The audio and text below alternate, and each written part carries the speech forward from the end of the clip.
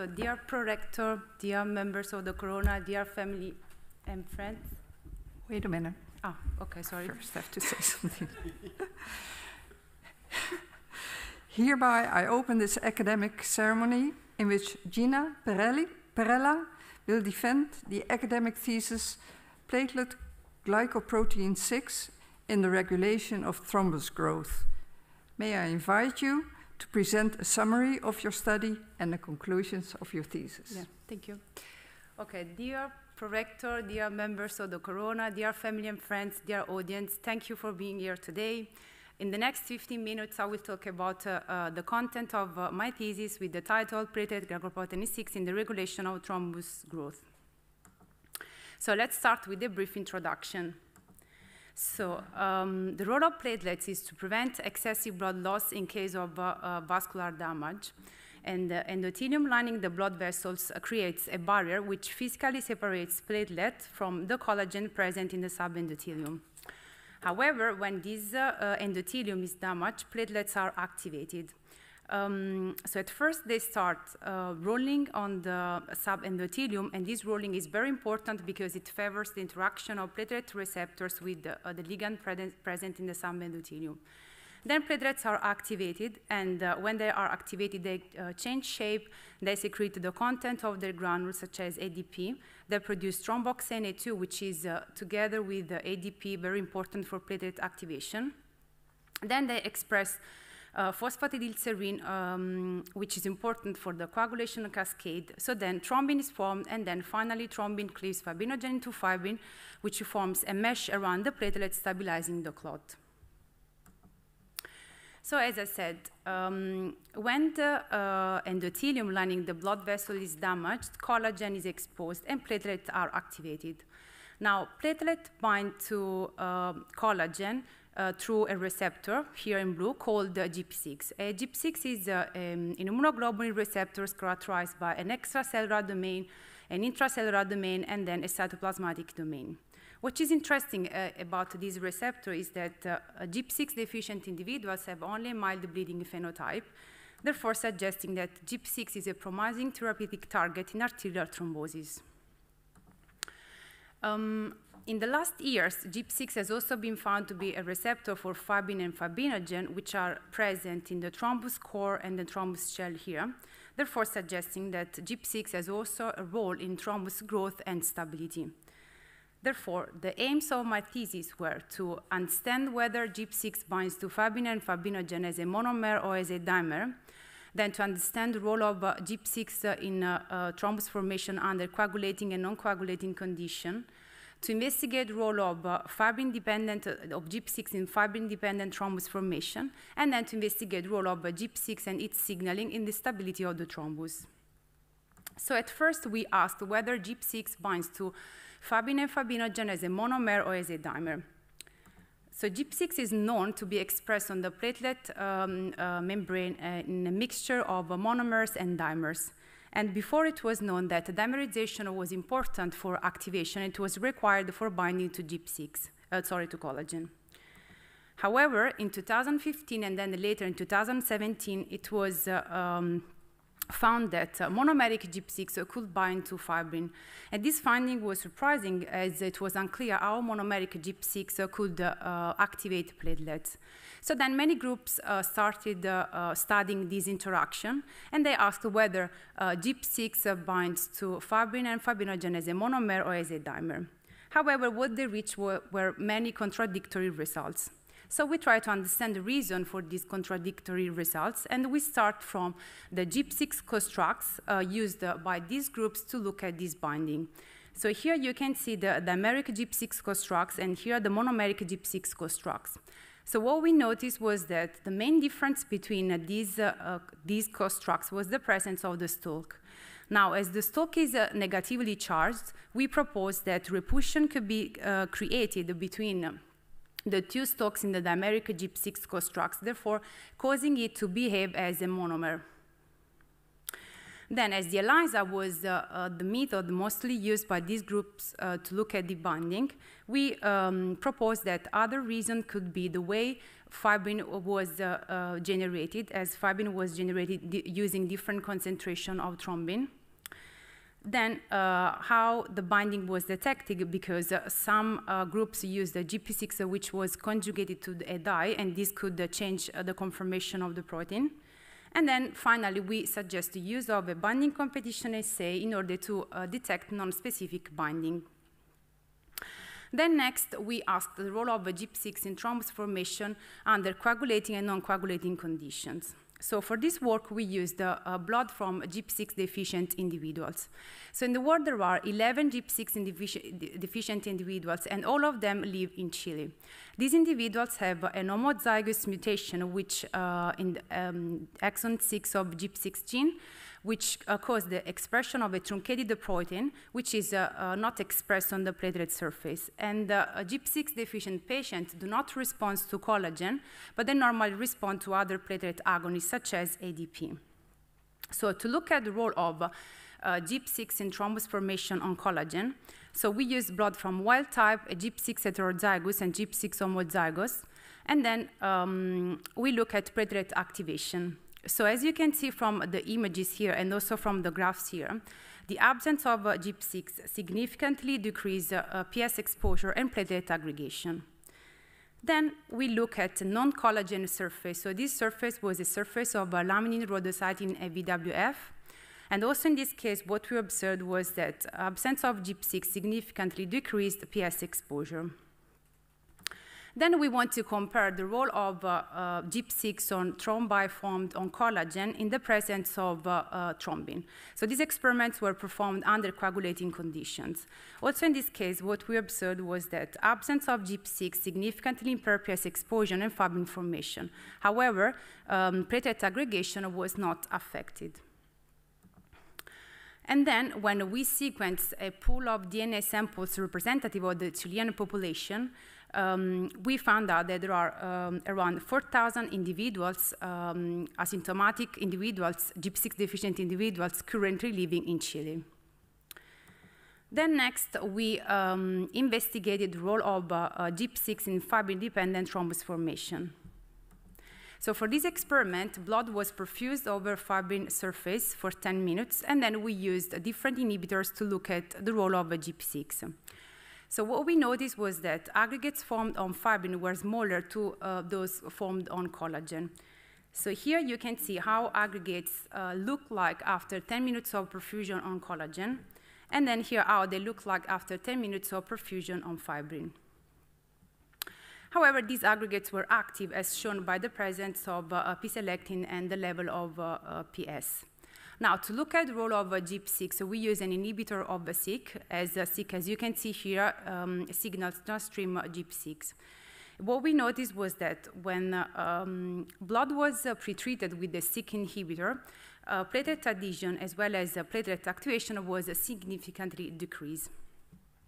Then we, uh, to look closer at GP6, we use an anti-GP6 uh, antibody called uh, 9012, and also in this case, we, we observed that GIP6 inhibition significantly impaired platelet adhesion and platelet activation on fibrin. Then we also observed that SYK inhibition and GIP6 inhibition uh, significantly reduced the platelet aggregation response to fibrin as well as uh, intracellular calcium signaling. Then next, we um, investigated the role of uh, GIP6 in uh, thrombus stability. And um, uh, so as I said before, um, thrombus is characterized by two, region, uh, two regions, a core and a shell. And uh, as you can see here, fibrin is present in the core and uh, fibrinogen is present in the shell. So now fibrin was uh, known to form a mesh around the platelets and stabilizing the thrombus core. However, it was unclear how um, the stability of the shell was regulated. So now, as uh, GIP6 is a receptor for fibrinogen together with the integrin alpha 2 beta 3, we wanted, we, we proposed that the GIP6 could regulate uh, the stability of the shell. And so therefore, we, are, we tried to ask this question. So for this experiment, um, blood was perfused over collagen and uh, atherosclerotic plaque for 10 minutes. and this is how aggregates uh, look like after 10 minutes of perfusion. And then stability was uh, uh, challenged by post-perfuse disaggregates with a buffer um, containing uh, or, or not the inhibitors. And here is how the aggregates uh, look like after 10 minutes of post-perfusion with the vehicle. So here, um, to start with, we uh, used a SYK inhibitor. So here you can see how the aggregates look like after 10 minutes of post-perfusion with vehicle on collagen. And here you can see the effect of uh, SYK inhibition. So as you can see from the images and also from the graphs, SYK inhibition significantly um, impaired the thrombus stability, starting within three minutes of post-perfusion. Then we look at the effect of uh, SYK inhibition on thrombus stability on plaque, and what we observed was that also in this case, inhibition of SYK uh, significantly impaired thrombus stability starting within uh, three minutes of post-perfusion. Then we compared um, the role of uh, on thrombus stability with aggregates formed at 37 degrees. And also in this case, we observed uh, that SYK inhibition could induce thrombus stability. Then, as um, we wanted to compare the effect of SYK inhibition with that of two secondary mediators, uh, thromboxane A2 and NDP, as these mediators are known to propagate from the core to the shell and then uh, um, maintaining platelet activation. So uh, what we observed in this case was that after 10 minutes of post-perfusion, inhibition of SYK, ADP, and, and thromboxane A2 was comparable. And then when uh, um, we used a novel GIP6 uh, nanobody called nanobody 21, we only uh, observed a minor thrombus uh, uh, breakdown. So in conclusion, we've shown that the use of GIP6 constructs is always not a good mo model to look at ligand binding. Then we showed that uh, GIP6 regulate thrombus um, uh, um, activation and PS exposure on collagen and collagen surfaces under coagulating and non-coagulating conditions. Um, then we uh, show that fibrin gives a low level of GIP6 activation, which relies on the integrin alpha 2 beta 3. And then finally, we show that uh, um, binding of fibrinogen with the GIP6 and integrin alpha 2 beta 3 is important for the stability of the shell. With this, I would like to uh, thank you, you for listening and all the people who helped me with uh, uh, this work, especially my supervisor, Steve and Jan. Thank you. And, and we now give the word back to the prorector. Thank you very much, and thank you for your presentation. We will now start with the opposition. Yeah. And the opposition will be opened by Professor ten Kate, Professor ten Kate is professor of internal medicine, in particular hemostasis and thrombosis at Maastricht University. Thank you, uh, Mrs. Prorector. Dear candidate, um, I'd like to congratulate you with the accomplishment of, uh, of this work. It's beautiful work. Uh, it's teamwork, but your uh, input or your, uh, uh, your, your, your work is clearly evident from, from, from the chapters. It's, it's original and it's very clinically relevant. And I also would like to congratulate the supervisory team with uh, uh, coaching you. Uh, and this work is another spin-off of the fruitful collaboration between Birmingham and Maastricht.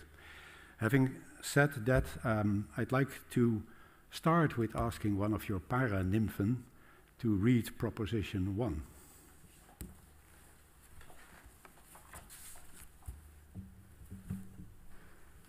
The estimated high number of asymptomatic glycoprotein 6 deficient individuals in Chile makes this receptor a useful antithrombotic target without involvement in hemostasis. This thesis. Thank you very much, candidate. Um, I, I, think I understand what, what the proposition means, but could you actually explain it? Because it's, it, it's not fully implicit. I mean, the fact that people are asymptomatic, that you would then like to target that particular uh, deficient receptor. So, what's the trick then? um, highly esteemed opponent, thank you for your question. Um, so I think that uh, the fact that um, there are many asymptomatic individuals, of course, without like any symptoms, is a good start to think that uh, GIP6 is a, a, good receptor, could be a good receptor in, uh, um, in arterial thrombosis to target arterial thrombosis. And um, I think that uh, uh, besides the number of uh, GIP6 deficient individuals and the 11 patients that so far have been identified, which do not have a, um, a, a, severe bleeding phenotype, there are many studies supporting the role of, uh, of uh, these receptors and uh, the fact that it's not um, required for hemostasis. So first of all, there are like uh, our studies, um, the one performed in Chile actually with this patient, uh, where we showed that under coagulating conditions, so when thrombin was not inhibited and there was a tissue factor, the aggregates could still form. And so, and another important part is that um, uh, arterial thrombosis caused by the, the, the, the, formation of a plaque, and actually it has been shown that uh, GIP6 is very important for thrombus formation on plaque material. So this means that in, the, in a normal physiological uh, hemostasis, uh, the, the inhibition of a GIP6 is not going to affect uh, those processes, but actually could affect um, yeah, the thrombus formation on plaque. And I, under, I understand, and I'm yeah. going to interrupt you because you're, you're um, yeah, fluent. That's, that's obvious.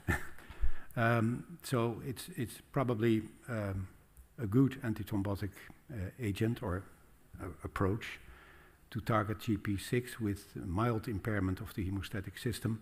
And that's also the reason that it's currently tested in yeah. clinical trials. And you refer to, to some of these studies. In, for instance, in your introduction on page 24, references uh, 73, 74.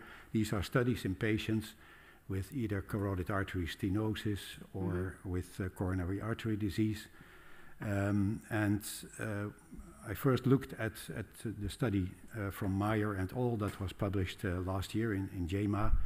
Uh, and of course, these are phase two studies, so safety is the, the key issue to look at. And what surprised me, but the numbers are not statistically significant different, but is that the, the uh, people who got, the patients who got placebo uh, had the, a higher rate of bleeding complications than the, the ones that were treated with this uh, Refa-Sept compound. Mm -hmm. um, so clearly no signal of harm from this study. But what was more surprising, I think that in the study that was not published yet, but you may have heard about this, with glenzozimab, mm -hmm. the French multicenter study in which this uh, anti-GP6 agent was tested on top of standard therapy, that, so that could be thrombolysis or clot removal or uh, and, and or aspirin altogether. But on top of that, these patients also had fewer bleeding complications, the treated patients mm -hmm. as mm-hmm. compared to placebo, and also mortality was lower. So this is very encouraging, but also intriguing, because I think it may be the first time for an antiplatelet agent to show that it would lower bleeding complications. Do you think this is all coincidence and chance because of the small study size, or is there a potential mechanism involved?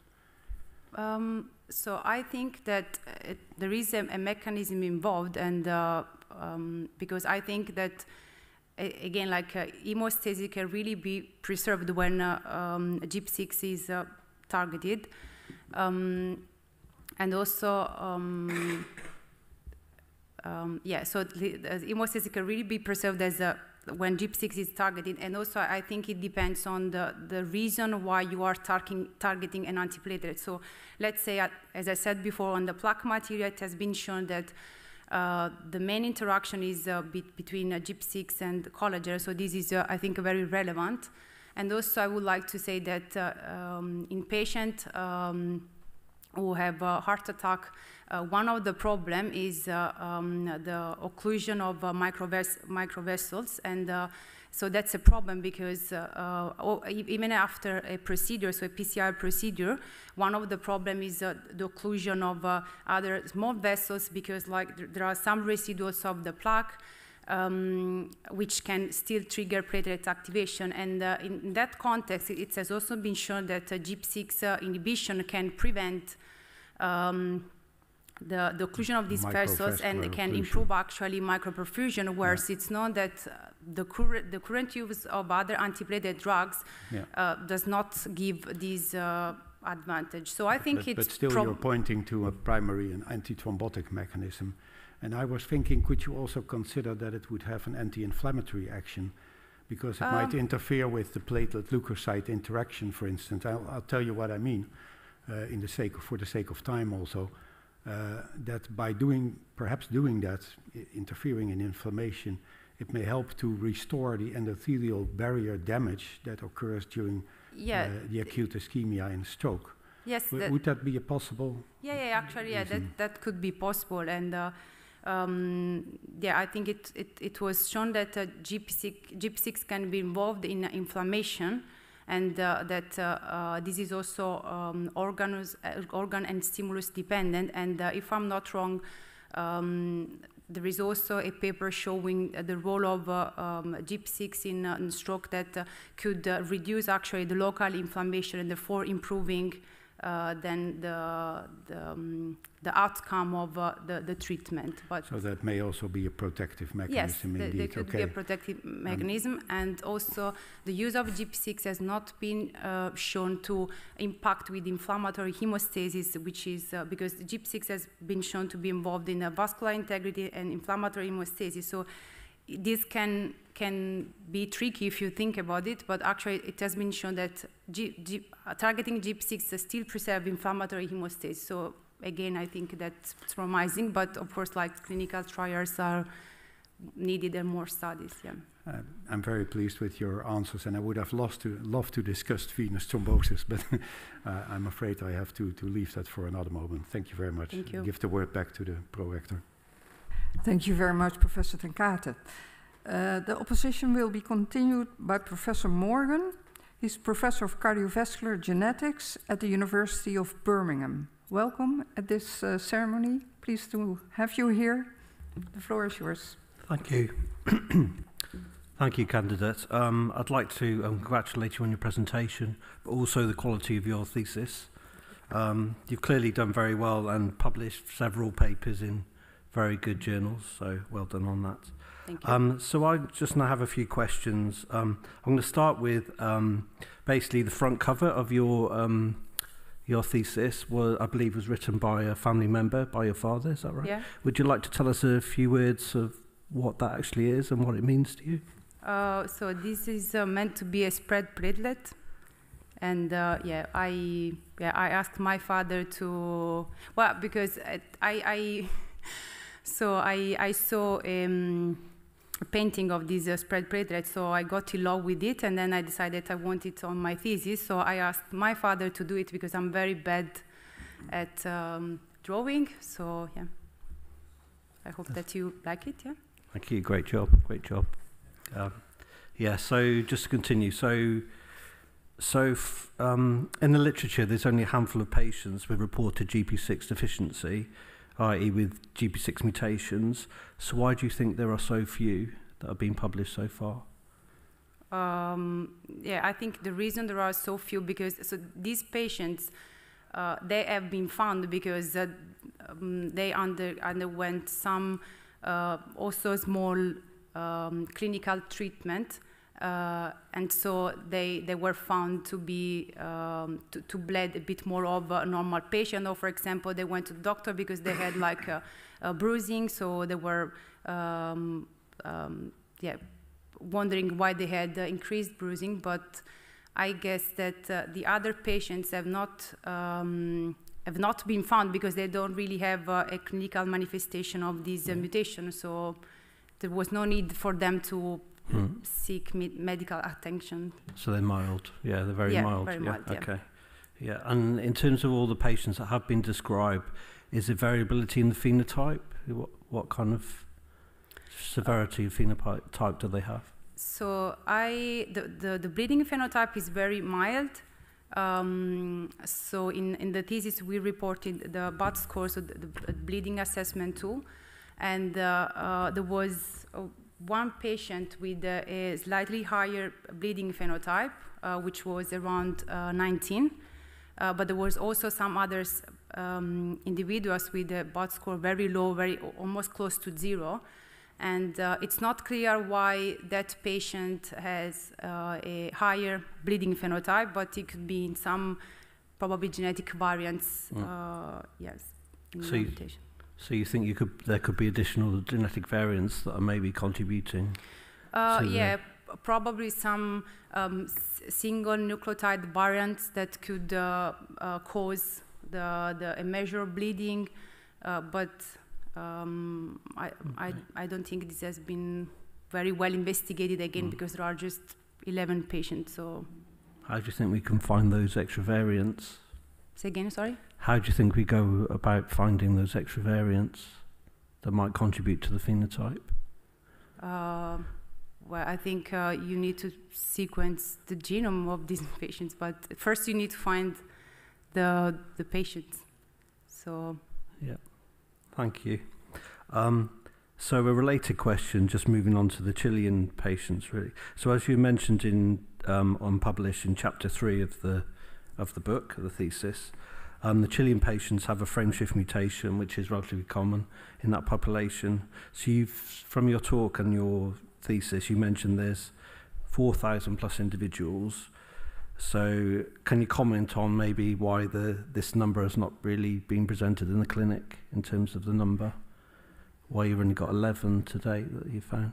I, I think that, uh, yeah, these, these patients, these individuals don't, do not have problems, not uh, um, uh, face any difficulties. So that's why they don't, uh, again, like seek medical attention. They have not been identified so far. But I don't know, like if um, it can happen that in case they have a major bleeding event, uh, then if eventually it would find out, or if it might be that some of these individuals actually uh, went to the hospital for some problems, but they have not been genotyped, so it's not so far known if, or they have not been tested actually um, to see if it was related to GP6, the reason for the bleeding, or if it was related to um, other um, issues. So yeah, I think that's okay. the reason. Thank you. Um, so what do you think the implication of this in, in disease in this particular population who carry these GP6, this GP6 commutation? I think that uh, um, these individuals probably they can be protected from arterial thrombosis, but um, it's difficult to say because we don't have high numbers, so you also need a good screen screening of uh, the, the mutation and the mm-hmm. individuals mm. and see again like if they really in, in, in, specific circumstances if they will have some benefits or not but uh, yeah what kind of numbers do you think we'll have to look at to get enough power to address this um, well i think we need around at least 1000 2000 at least mm, i mean that that's that's I, normally clinical trials, I think, are based around 2,000, 3,000 individuals. So I guess we need that amount probably, maybe 1,000 is enough already, okay. yeah. If it's very striking. So, yeah. Yeah. Okay, I think, am I out of time, I think? Yeah, yeah. yeah. yeah. Thank you very much. Thank you. Um, Sorry. The opposition will be continued by Dr. Harrison. Dr. Harrison is Associate Professor at the University of Birmingham.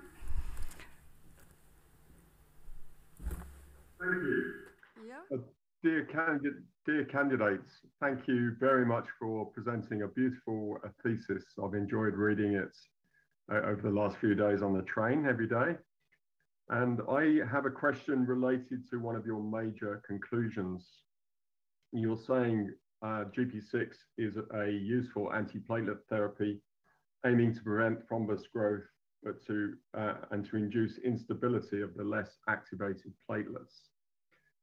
Um, how do you think GP6 inhibition will compare to existing therapies such as aspirin and P2Y12 inhibition? Dear esteemed opponent, thank you for your question. Um, so I think that uh, it's known that inhibition of uh, um, uh, P2Y12 um, and the use of the current antiplatelet drugs in general as some, um, we can call them, I think, downsides, or like they're not 100% effective in solving the problem. So for sure, we need the use of an, uh, a new antiplatelet uh, drug. Um, I think that uh, many trials have been performed um, over anticoagulant, like, such as uh, rivaroxaban, that is an inhibitor of factor 10. But still, also in that case, I don't believe that it's um, uh, extremely successful.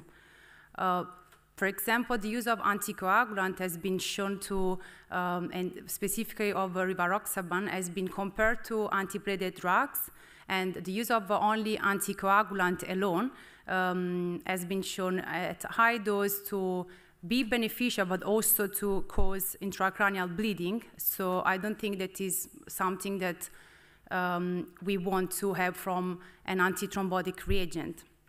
At the same time, we know that uh, anti-platelet drugs have uh, some side effects. One of, them is, of course, the use of uh, the, the because they cause uh, bleeding, but sometimes they're also ineffective in preventing thrombosis. So putting this together, we surely need a new antiplatelet uh, um, agent, and I think that GIP6 can be one of them.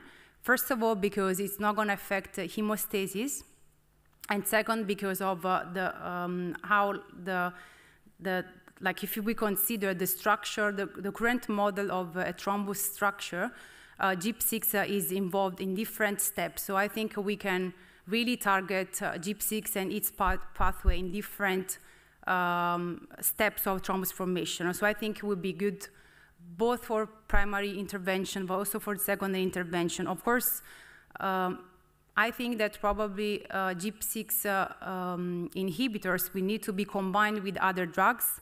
I'm not entirely sure because I think we need more studies on this and we need to com compare them. But I think uh, that's why it's, it's promising. That's a very, very good answer. Thank you. So I've got a related question, which comes back to your Chilean population of patients that you studied with GP6 deficiency. So in chapter three, in the appendix of chapter three, you show the BAT scores, the ISGH BAT scores, bleeding assessment tool scores. Do you think those scores really reflect a mild deficiency? So what do, what do we mean by a mild deficiency and how is that reflected in BAT scores usually? Mm, I think that, uh, well, um, the BAT score of 19 probably is not that mild. So th this, this individual, this patient actually went uh, to the hospital and uh, uh, faced bleeding on um, at, at, different occasions. So in this case, in, in, in the case of that individual, um, I wouldn't say that that's a very mild phenotype, but um, that's also the only individual with that high BAT score. And uh, the others individuals actually have a, a very low um, bleeding and uh, BAT score. So I think compared, if we think of uh, overall, like the, the BAT score is very low for these patients. I would define them a mild bleeding phenotype, one around five, six, Okay. Okay. So a number of them are higher than that. Did you did you exclude the possibility of a combined defect of some sort in these individuals? Um, say again, sorry. Did you exclude the possibility that some of these individuals with the higher BAT scores may have had a combined hemostatic defects with their GP6 defect? Mm. We cannot exclude this. I, I, I think I, I don't think this patient was found to have um, a combined, um, other combined um, mutation that could affect the bleeding. Um, but I don't know how well this patient has been investigated. And also, I think uh, could be that this, this patient has, uh, because this patient, they have uh, different uh, haplotypes, so like they are not they have the same mutation, but they have many variants, so it's not a conserved mutation. So it might be that they have other um, single nucleotide variant that could influence the, the bleeding. But um, I, I, yeah, that's what I can say. Okay. So I have a final question about the potential role of GP6 in venous thrombosis. um, which was alluded to by the first questioner. So what's, what do you think the role of GP6 in venous thrombosis is? Because you've got a beautiful chapter on that. Yeah. Um, so I think that uh, uh, in the past, venous thrombosis was considered to, more, to be more a, um, a disease of the coagulation. So platelets were not considered to be that involved in uh, venous thrombosis. But I think now we have evidence that actually platelets can uh, interfere with inflammation and also that they can have a role in a venous thrombosis. I think um, so for example, one of the, the, the, um, the, the work supporting this, uh, this uh, um, theory is the, the work on the SNAP23 deficient uh, mice that actually were shown to be protected by arterial thrombosis and venous thrombosis. So I think that uh, the role of uh, um, GIP6 in this context uh, can be related surely to uh, the inflammation because GIP6 has been shown to um, um, promote uh, uh, um, the um, uh, neutrophil, neutrophil activation in the context of steroid inflammation and um, also it has been shown to be involved, if I'm not wrong, in pneumonia, uh, so a model of pneumonia interfering with inflammation. So again, uh, and of course we know that inflammation is uh, one of the causes of venous thrombosis. Then I think that it could be um, related with venous thrombosis also because of uh, um, its um, kind of cooperation with the GP1B because we know that uh, uh, GP1B is important for venous thrombosis and uh, GIP6 has been found to uh, associate with um, GP1B. Um, so there could be a, a, a cooperation and then um, and then yeah the, the, the fact that um, when uh, the um, venous thrombosis formed, uh, it started by uh, leukocyte that uh, induced the production of uh, um, tissue factor and then uh, fibrin formation. And of course, GIP6 is known to bind to fibrin formation. So I think these are aspects that could be investigated better to understand the role of GIP6 in venous thrombosis and that not exclude this receptor from venous thrombosis. Excellent answers. Thank you very much. That concludes my questions. And uh, thank you again. Thank you, Dr. Harrison. Uh, the opposition will be continued by Professor van Zandvoort. Professor van Zandvoort is Professor of Advanced Optical Microscopy at Maastricht University and IMCAR Aachen. Dear candidates, innanzitutto uh, I would like to uh, compliment you with your thesis, very well written and very easy to read. Um, and I would like to also uh, uh congratulate the family and friends uh, in this. Um, I have some questions, and the first one I would like to ask one of the Paranymphs to read Proposition 11. Scientists can have great ideas during drinks, but when drinking too much, they forget the great ideas. Gina Perella, and a British scientist. okay, so one, I have two questions about this uh, proposition. The first one is, do you remember how many uh, great ideas you forgot? Many. Can you count them? and the second one is, did you also forget who the British scientist was because uh, the no, scientist no, was I in the bar, or? Yeah, no, no, I know the British scientist. Can you share that with us? Then we can uh, say by himself if you want. okay. okay, so my more serious questions yeah. are about, uh, let me check, page 168. It's a question that won't surprise you, it's about an image. Mm -hmm. um, and in that figure, you describe clustering using storm imaging. Yes.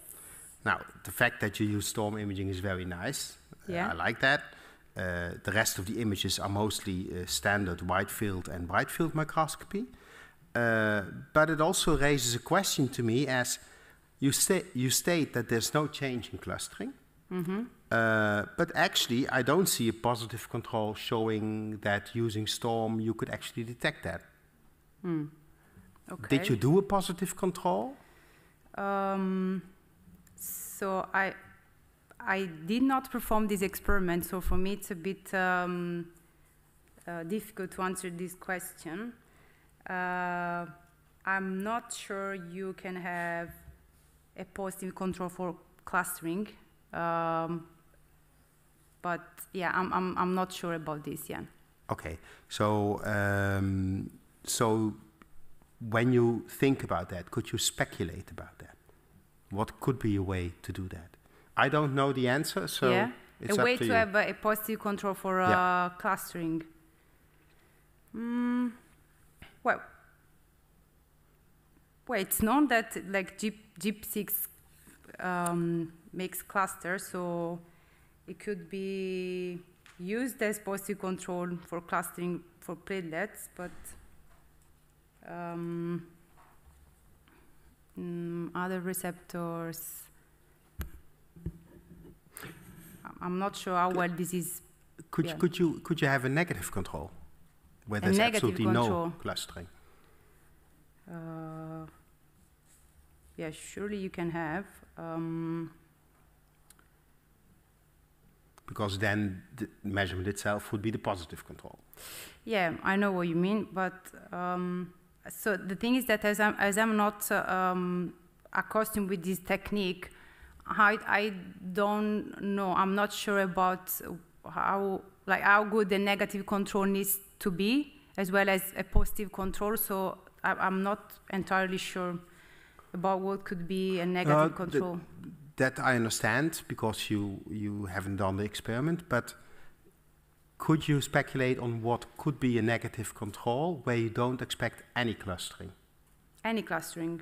Well, I would just simple. use a, um, a, a, ligand which uh, does not uh, cause um, a very strong activation, but um, I, I think this is tricky because uh, so proteins where they are coated they behave different from when they are in solution um, so I, I, I, I, can think of BWF because it's known that uh, does not induce a very strong platelet mm-hmm. activation. Mm -hmm. So I, I, I, don't think it's gonna. I think it's gonna be a, a good negative control. But again, I'm not entirely sure what's gonna happen with this uh, method methodology. Okay. So um, another question I have mm -hmm. is on page 112. 112. Of course, also on an image. Um, you show some uh, SEM images of fibrin networks. Yes. Um, and there you actually indicate that in the legend I read, and also in the text uh, accompanying that, I read there is no difference in structures because uh, there's no, they are not visible uh, between the fibrin plus von Willebrand factor, etc., etc. Mm -hmm. uh, actually, when I look at these structures, all four are different. Mm. I would classify them as absolutely different. Do you have a reason to say specifically, do you look at something that I oversee? So I think what we were looking when, when, what we were considering when we look at these uh, surfaces was how dense and packed the fibrin, uh, fibers were, and we could not notice a difference in this sense uh, mm. between the first surface and second surface, so when BWF was added. I know that they don't look entirely 100% um, identical, mm -hmm. But um, yeah, we were, we were more pointing out the fact that the, the fibers are less dense uh, or more dense. Mm -hmm. And you don't see a difference? We, well, the thing is that um, we, we just wanted to prove with, the, uh, with this, uh, by imaging them by SAM, we wanted to prove that we had a fibrin surface, uh, and we wanted to look at the fibrin surfaces more closer but um, we were more interested in the effect of uh, fibrin and the presence of the BWF in terms of platelet activation. And so I think we investigated this with um, the flow studies. So in a way, our answer, our um, questions were answered. And um, yes. Okay. Yeah. Um, did you consider to uh, also use Storm for this? No. No. No. Okay. We did. Pity. I think there's no more time. Yeah. Okay, thank you. Thank, Thank you. you. Thank you, Professor van Zandvoort. Uh, the opposition will be continued by Dr. Salis Crawley, who is a lecturer in cardiovascular science at the University of London. Dr. Salis. Thank you very much. Uh, I hope you can hear me all right. Um, first of all, I would like to join the co-examiners and uh, in congratulating the candidate for a beautiful presentation and very well written thesis. Um, yes, I very much enjoy uh, reading uh, reading the thesis, uh, and also like the amount of work was uh, was quite uh, impressive with the eight publications I think that was listed. listed. So my questions, uh, and I think one of my first question I wanted to ask you was related to um, the importance of platelet-leukocyte interaction in cardiovascular diseases and the thrombus formation. And I think you started to uh, to answer some of these uh, uh some of that question with uh, answering um, Dr. Harrison on the uh, venous thrombosis and the role of GP6 in venous thrombosis.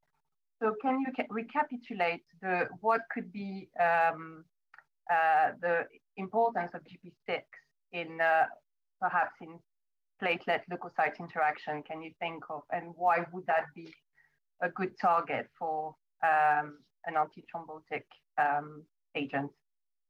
Dear esteemed opponent, thank you for your question.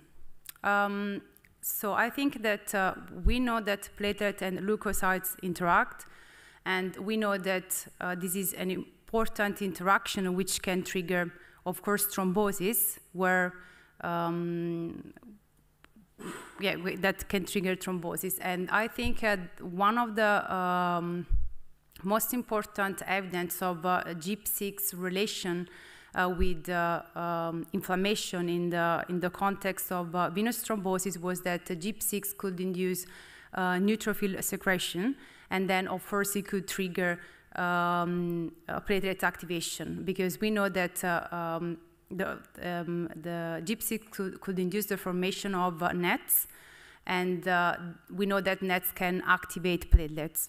However, um, I think uh, when we consider the interaction with the platelet and leukocytes, there are many things to take into account. And it has also been shown that um, it really depends on the, uh, the, the, general context of the disease and also the organ and also the type of uh, stimulus. Um, but it's a proof of concept that uh, GIP6 can interact with the uh, leukocyte and of course can be a trigger for, uh, um, for thrombosis. Thank you. So um, in the same vein, and you already had a lot uh, of questions, it's like, what is your, in your opinion, the best anti-GP6 blocker? Uh, would you target the collagen-induced signaling or the fibrin-fibrinogen-induced signaling? And what do you think, in which scenario would it be the most efficacious, like arterial versus venous thrombosis? It's a bit of a complicated question, but. um, so I think in the uh, in we can we can block interaction with GP6. However, I'm not 100% um, sure this, for example, interaction with collagen. I'm not 100% uh, sure it can be a good target for venous thrombosis.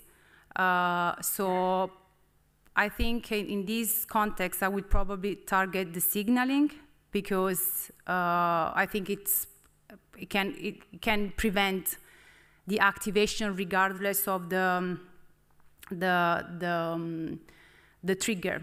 So I, I, I, would, I would rather target uh, GIP6 signaling than a specific receptor because um, so, so far, uh, we know that uh, um, uh, is uh, in a clinical trial and is an anti-GP6 agent. And uh, uh, so probably this receptor, sorry, this drug is successful because it can inhibit binding to collagen or fibrinogen.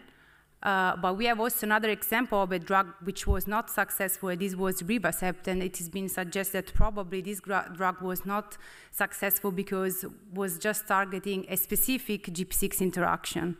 So in a wider context of uh, um, thromboinflammation inflammation and venous thrombosis that of course is triggered by inflammation, I would rather target the signaling than a specific uh, ligand binding.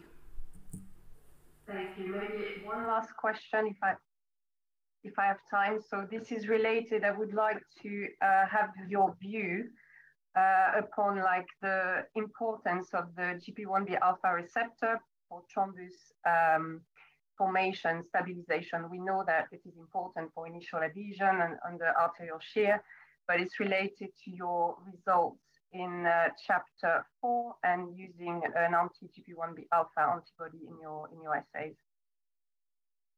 What we observed when we inhibit um, uh, GP1B was uh, um, was just a decrease in platelet adhesion, and uh, of course we know that uh, uh, GP1B is involved in platelet adhesion through VWF, um, I think it has been shown that uh, uh, we know that uh, in, in, the activation of GP1B and for the role of GP1B, GP6 is important. But I think it has also been shown that when the integrin alpha 2 beta 3 is activated, then this can um, um, kind of mask uh, the absence of uh, GP1B. And so since we have we had a fibrin surface, uh, it might be that probably that's only the reason why we, we only saw an effect in platelet adhesion and not in platelet activation, because of course uh, uh, fibrin can activate and bind the integrin alpha 2 beta 3. Okay, thank you very much. I am. Thank you very much, Dr. Salis. Uh, the opposition will be continued by Dr. Armstrong.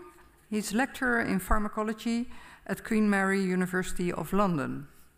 Dr. Harrison, uh, Dr. Armstrong, sorry. Too many polls. Thank you very much, Pro-Rector. And thank you very much, candidate, for your uh, very clear presentation and well-written thesis. Um, there's a there's a lot of uh, data and a lot of results in there, and so I commend you for uh, for all your efforts over the years. My question I'd like to start by considering that GP6 as a receptor is known to be shed.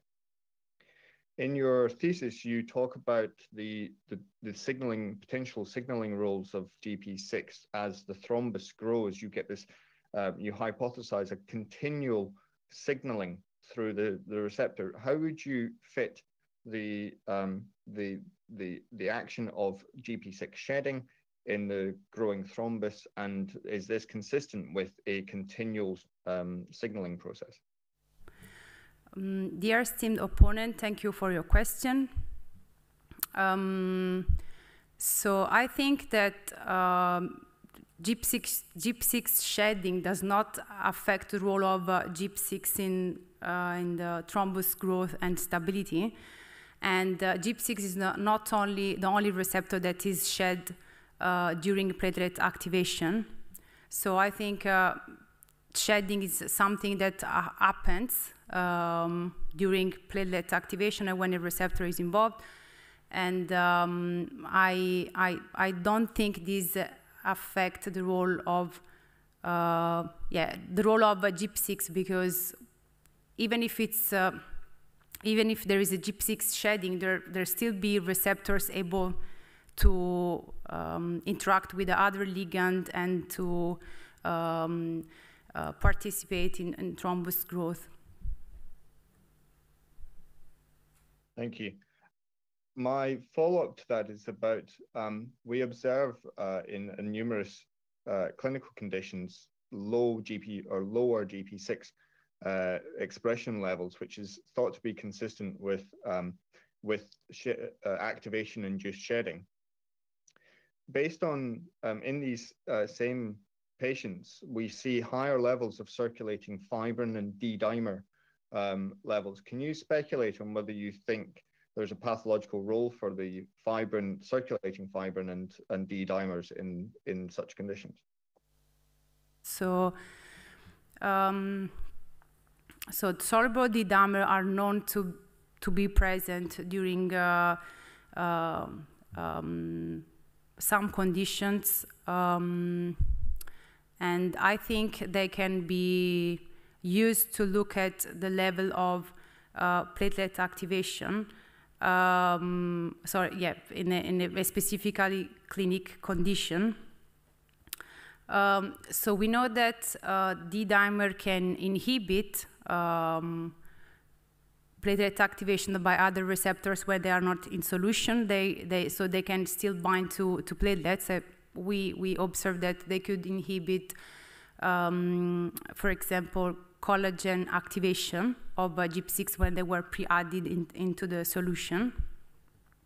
So of course it's something to consider, but uh, um, I think um, formation of uh, D-dimer is uh, um, probably can be stopped before, like a massive amount of uh, D-dimers, circulating D-dimers, can be prevented uh, um, because I think that um, in some cases the high level of D-dimer is also related with uh, a very traumatic event uh, and, and, so, and, also like when the clinical condition of the patients are getting very um, extremely worse.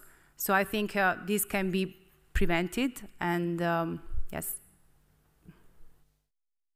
Oh, very good. Thank you very much.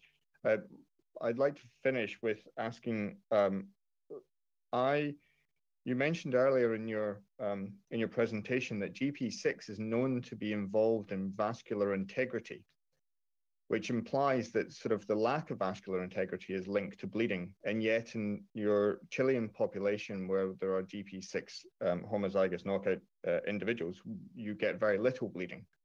So, where is GP6 still uh, important for vascular integrity, or are we being misled by by uh, previous uh, experimental protocols?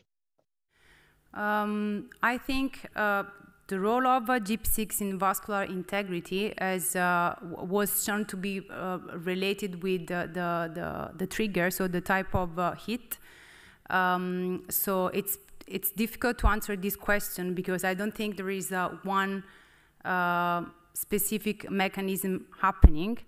In, in, some situations, surely it has been shown to be more important, some other less important, but um, overall, as far as I know, it's not been uh, observed to be a problem, What I mean that targeting GP6 was a problem in terms of uh, vascular integrity. So did, my understanding was that the vascular integrity information came from GP6 knockout mice. Do you think there's a species difference there?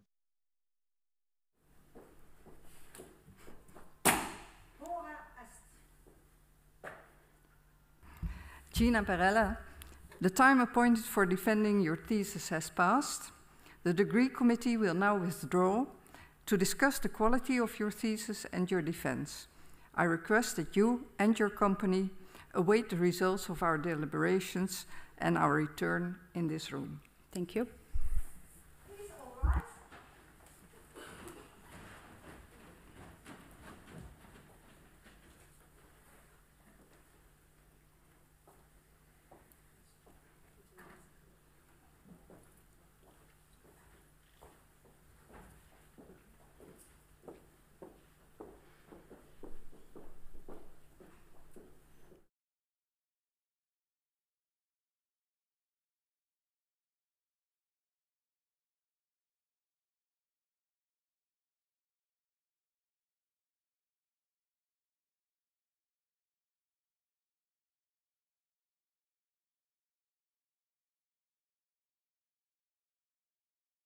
The PhD defense has now ended.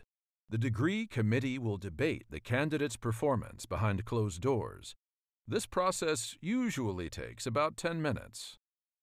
In the meantime, let's take a closer look at Maastricht University's renowned teaching method, problem-based learning.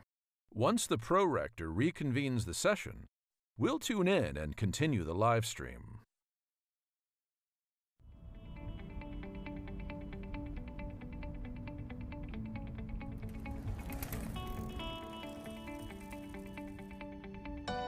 Problem-based learning, or PBL. What does that mean exactly? Three of my fellow students and I will show you around. Every week, we analyze a different case or issue together. We discuss the case and everyone can contribute different perspectives to the group discussion. If we get stuck, our tutor helps us out and suggests what we could do next. I prefer going to the library to prepare. Here, I can focus and I have quick access to books or journals that help me understand the case. Today, I can also train my stitching skills in the Skills Lab, where you can immediately put into practice what you've learned. After a day like this, I like going to the gym to clear my head and get ready for the next day. At UM, you meet people from all around the world. Hello guys. Some of them are doing their exchange semester here, and they often say that PBL helps them learn and retain things very easily. I can understand why. It's a very active way of learning because you have to bring your own perspective to real-life cases. You have a lot of freedom to manage your time, your studies, your hobbies, and your work. Of course, that also means a lot of responsibility. Right now, for example, I'm arranging my exchange semester in Madrid. How cool is that? In this group session, we're the managers who have to allocate the resources of a real company. This is how we put into practice what we learned this morning. Studying here means being proactive and learning to plan well. Prioritizing and performing well under stress are great skills that help you develop as a person. But now, it's time to grab a coffee at the Student Service Center.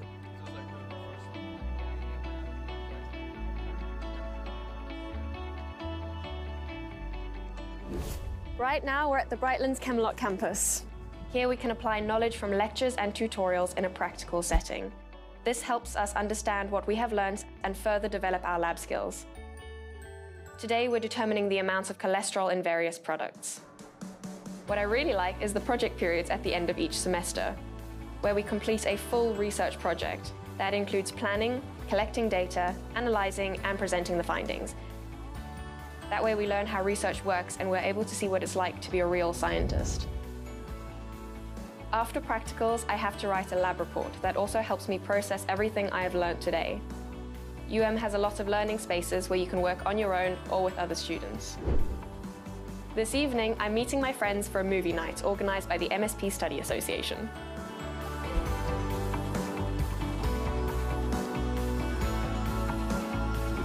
If you study law, you have to read quite a lot.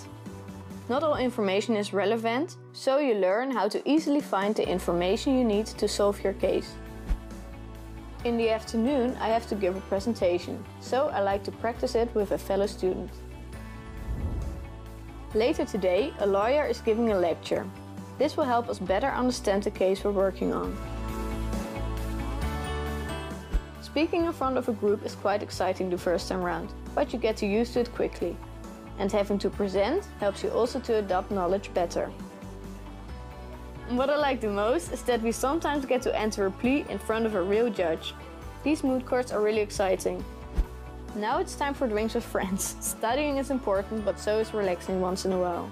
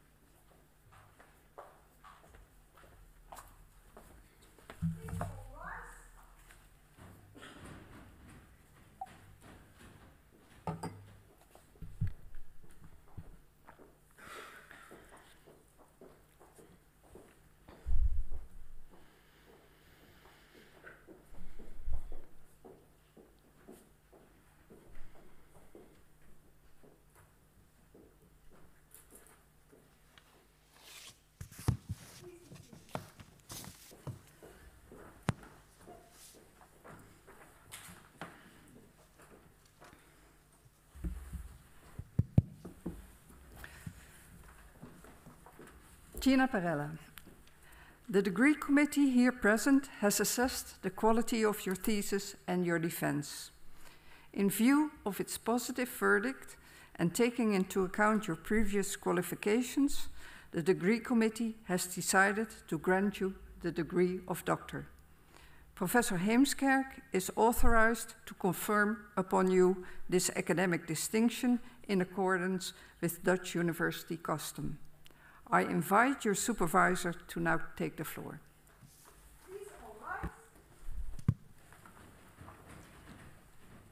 We first get the promise.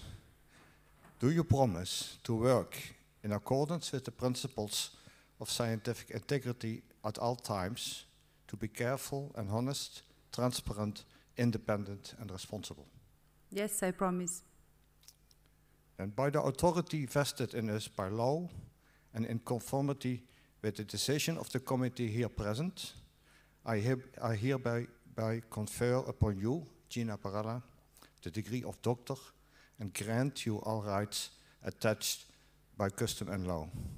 As evidence of this, I now present you with the degree certificate signed by the rector, the secretary, and other members of the committee and affixed with the official seal of the university.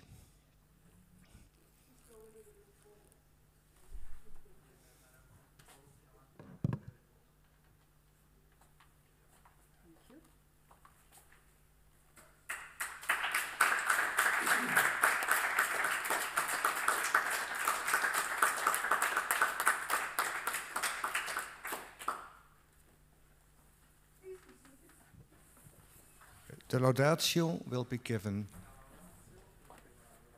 uh, by your first uh, promoter in Birmingham, Professor Steve Watson. Prorector, opponents, members of. I've got to stand. Oh, right. Prorector, opponents, members of faculty um, of both universities, friends and families.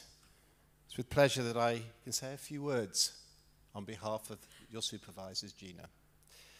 A PhD is a very challenging thing to take on and should not be taken on lightly. A PhD, to embark on a dual PhD with two different sets of supervisory teams, two different methods of thesis examination,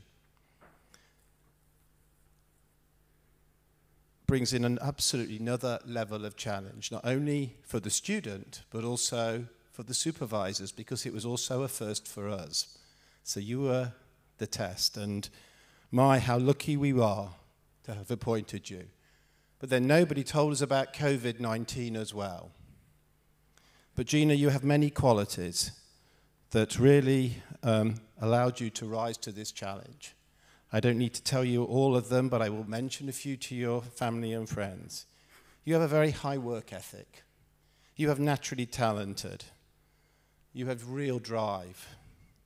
Your enthusiasm and excitement is amazing. It, everybody picks this up. You have a sheer love for science.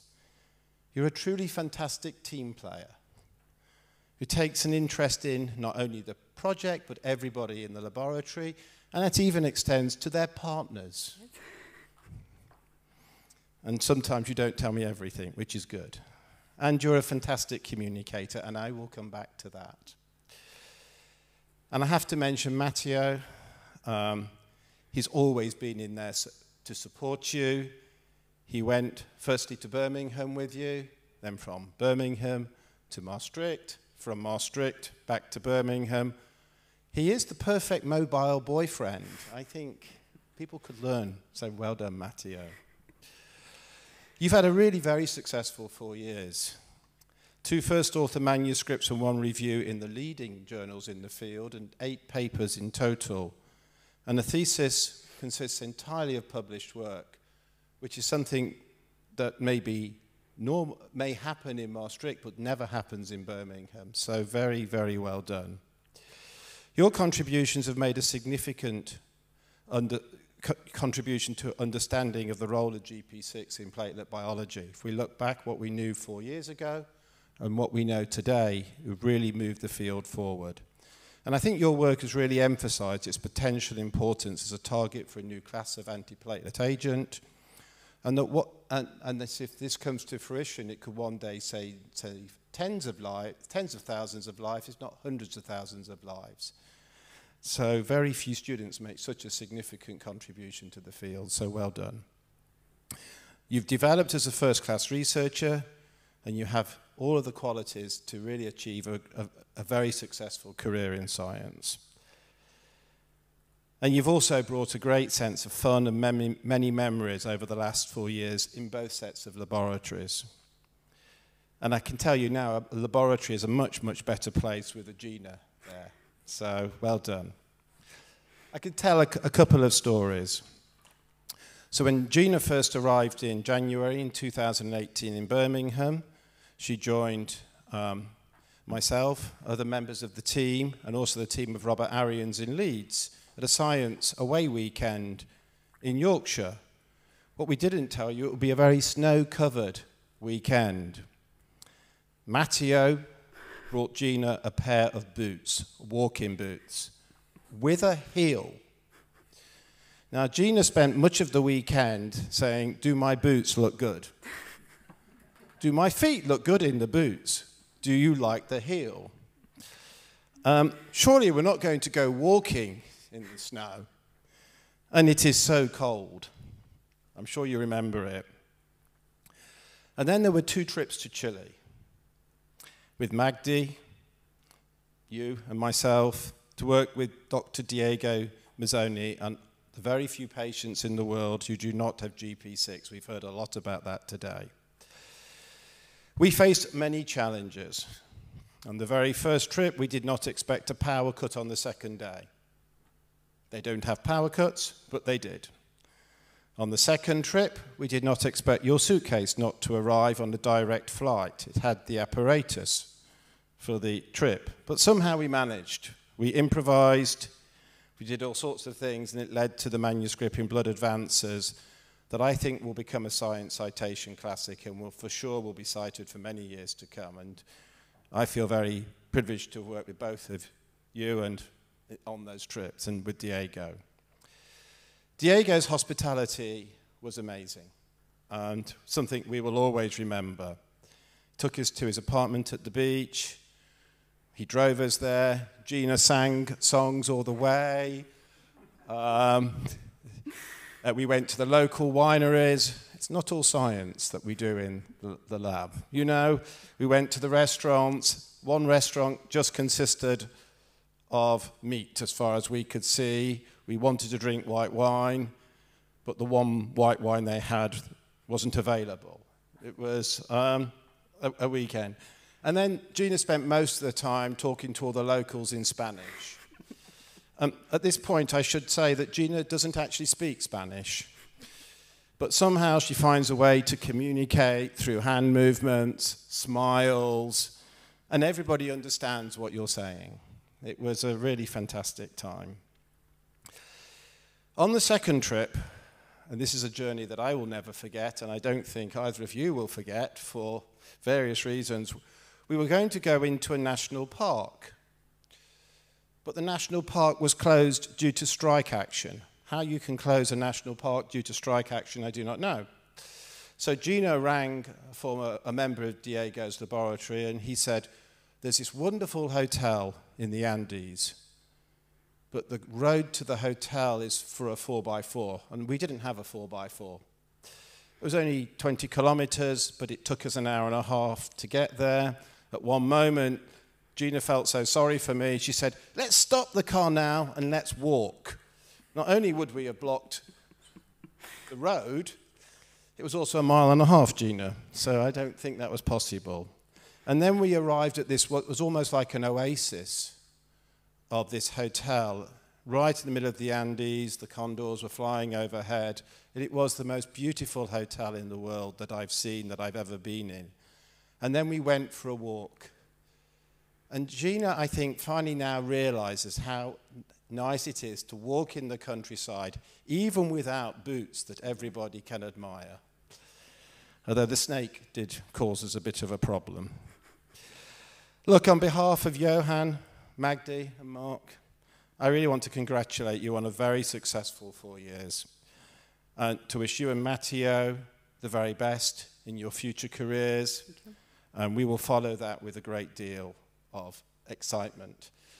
Gina has stayed in Birmingham to work with Julie Rayes, who is undoubtedly one of the leading investigators of her generation. She's a lot younger than me.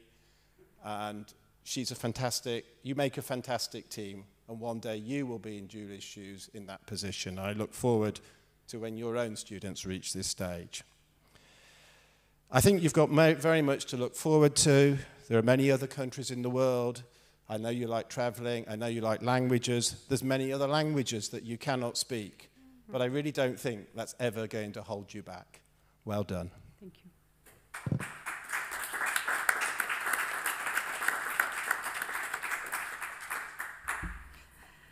Dear Dr. Perrella, also on behalf of Maastricht University, I congratulate you with the degree you have acquired. And I also, of course, congratulate your parents, your fiance, um, husband, boyfriend, boyfriend, a long time boyfriend already, yeah, I yeah. understand. Yes. And uh, of course, other friends and colleagues with this uh, uh, special occasion because it's been a period of hard work and uh, you didn't have the easiest period of time with the COVID uh, lockdowns and everything. Mm -hmm. So uh, really congratulations with all the work you've done and um, the degree you have acquired. Thank you. I also congratulate your supervising team. Uh, one is still in England and mm -hmm. is not present, unfortunately. Uh, and then I would like to ask, uh, thank the members of the Corona who are here and those who are online, especially all the people from the UK. Thank you very much for participating in this uh, ceremony. It's always a pleasure to have so many people from abroad. And uh, then with this, I'd like to close this ceremony. And uh, I will ask the, uh, the audience, except the parents and the boyfriend who can stay here, uh, to leave the hall. Uh, we then make some refter for drinks, I guess. Yes. Yes? Okay, thank you.